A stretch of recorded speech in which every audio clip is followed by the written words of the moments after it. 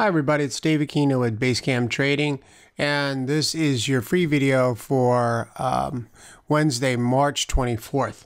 So we're looking at the markets. What I want to do uh, for you is do a little comparative here uh, of all the different indices.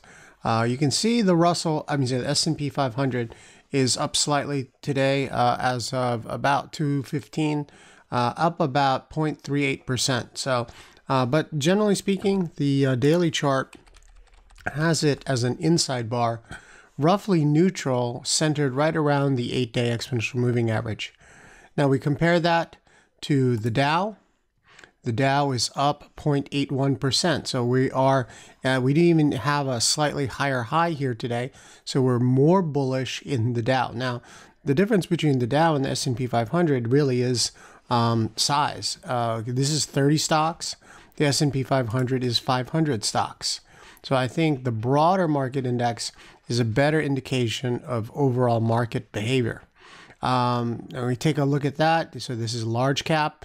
Then we look at the mid and small cap, which is the Russell 2000. Now, the Russell 2000 is an inside bar. However, we have significantly weaker momentum. So falling momentum in the mid and small cap companies.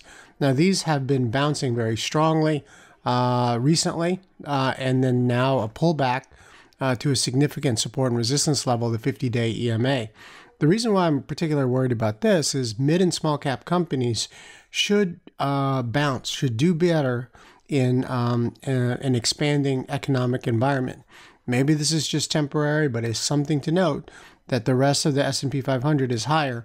All the mid and small caps just are, are barely positive who knows, at the end of the day, we might be negative.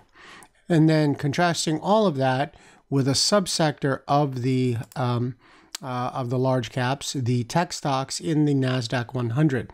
Clearly, we have a lower high, lower low. We are below the 8 EMA. We are down six tenths of a percent, and we have pretty consistent downside momentum on the hourly chart. So you can see the major large cap stocks are weaker. Um, now, there is some area of support, uh, so it can fall a little ways uh, before we can potentially catch ourselves and then consolidate to go to new all-time highs. But as of right now, markets are weaker uh, in the Nasdaq. So the reason why I contrast that is the Nasdaq and the S&P, well, the Nasdaq and the major Nasdaq stocks and the major S&P 500 stocks, the tech stocks, have been what has been driving the market higher for the past year. Now we are seeing some weakness. So we need to keep that in mind. It may affect our longer um, duration trading. Um, you can't ignore the major tech stocks because they are major components uh, of the two most important indices. Uh, and may, um, you have to under, also understand the S&P 500 is 80% of the U.S. market by market capitalization. So you can't sleep on them be aware that there is some weakness. Even though we're slightly positive today, look for potentially uh, the market sliding lower if continued weakness in the major tech stocks continues. Okay, thanks a lot.